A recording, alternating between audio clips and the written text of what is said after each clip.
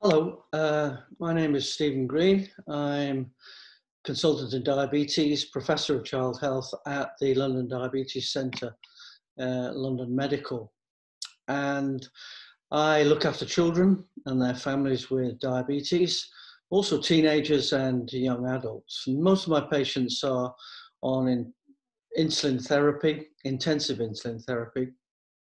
I do see one or two uh, older teenagers, young adults with what would be called type 2 diabetes, but mostly my practice consists of, of, of type 1.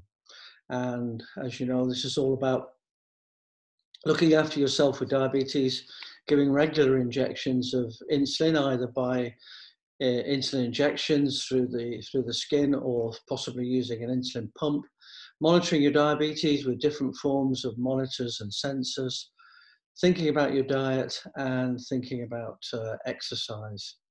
And uh, I appreciate this is a challenge for all. And here at London Medical, we try and give as much advice and as support we can to help people uh, cope with this, uh, this with their diabetes uh, and uh, get the best out of the treatment that they can. Now it's interesting times that we're all in, and and uh, the coronavirus pandemic has caused a lot of concern about the uh, with the diabetes community, both for health mm. professionals, but particularly for people with with diabetes. And there's definitely been a a worry that diabetes itself is a big risk factor for coronavirus, COVID 19. Uh, not so much in the risk of getting the illness, but in the complications that you might get when you've got the viral infection. And uh, this has been well reported uh, in the medical literature and in the media. However, I think it's fair to say that there's now a lot of evidence that this really only is for the older population and those with type 2 diabetes and also in association with being a little bit overweight. And I think I'm pleased to say that uh, for young people, children, teenagers, and young adults who have type 1 diabetes, I think it's now well established that there is no additional risk if you do get coronavirus. Uh, for most people, young people who do get coronavirus, with or without diabetes, it is a relatively mild uh, illness. It's it's a it's a bad flu, if you like, uh, and doesn't seem to lead on to the complications that you get in the older population. And certainly for young people with diabetes, it also does not seem to have any worrying concerns uh, in relation to the more severe developments that you get uh, with coronavirus. So this is obviously good news and reassuring. However, obviously, if you do get an infection with type 1 diabetes, I'm sure that you're all aware that this can actually cause difficulties with the diabetes. It can throw the diabetes out of rhythm, out of step, and you have to take quite a, a, a, a considerable amount of precautions and uh, further interest in your diabetes to get through any illness. And this would be the same with coronavirus. So we often call these the the sick day rules, and a, a good shorthand for that would be taking the word sick. So what do you have to do when you you get an illness, you know, such as a temperature, bit of a cough, a cold, feeling unwell, fluey, off your food, maybe even vomiting uh, a little bit. So all these are classic symptoms of any viral infection and, and, and, similarly per coronavirus. So what would you do on your sick day rules? Well, first of all, you think about the S, which is the, the sugar. You need to watch your sugar levels. And a bit confusingly, uh, having infections sometimes can make your sugars go high, uh, or sometimes it can make your blood sugars go low.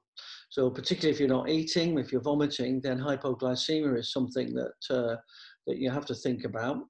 Uh, and contrary to that, you can have high levels of glucose where the sugar's going up. You might have to think about giving more insulin.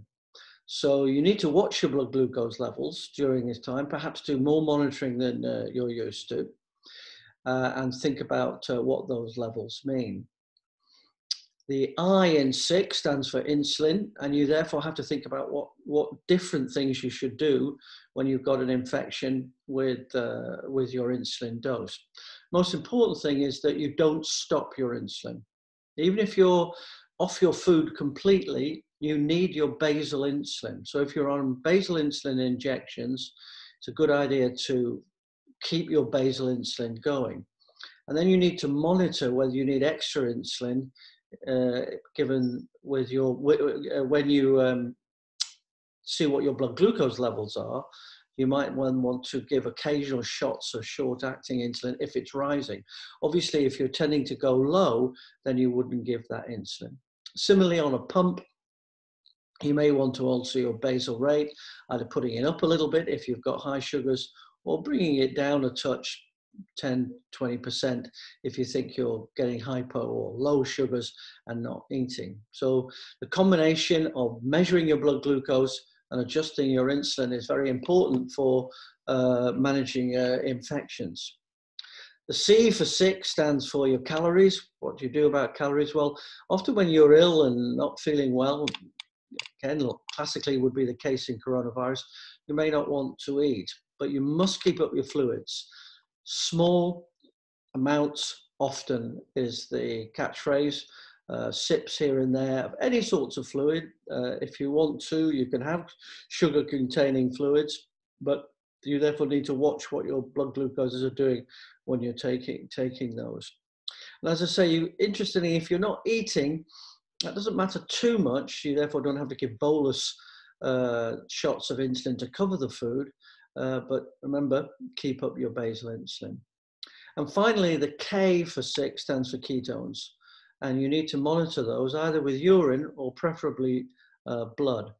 And basically, you want to keep ketone free. If your ketones are rising, and certainly if you get above 1.0 millimoles per liter, then you really have to think carefully uh, about what you should do about that.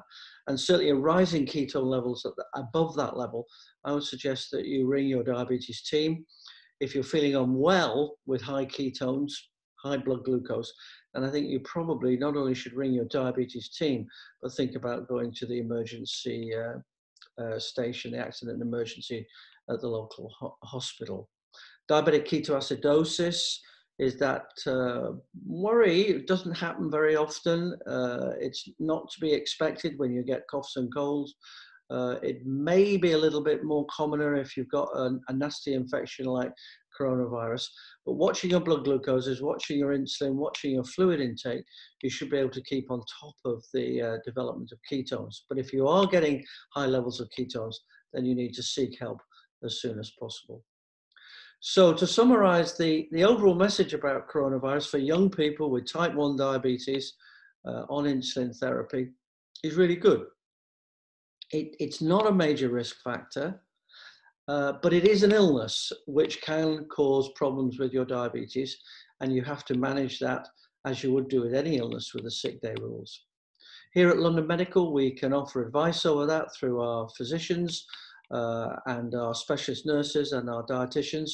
And we'd be happy to speak to you at any time on that. Our phone number is, let me just check on that now, is uh, 0800 0483 330. So I'll repeat that 0800 0483 330. And you can get information about diabetes on our uh, www.londonmedical.org uh, sorry, londonmedical.co.uk, uh, our website. So difficult times for all, keep safe. What's very important is that as anybody, irrespective of whether you've got diabetes or not, you keep the same uh, suggestions and rules and advice that we would do about coronavirus. Keep your distance physically from people, wear a mask where it's relevant, wash your hands regularly with soap and uh, water. Uh, and obviously, if it's possible, stay away from uh, any crowded development to keep your yourself safe and to keep your family safe. I wish you all the best at this difficult time.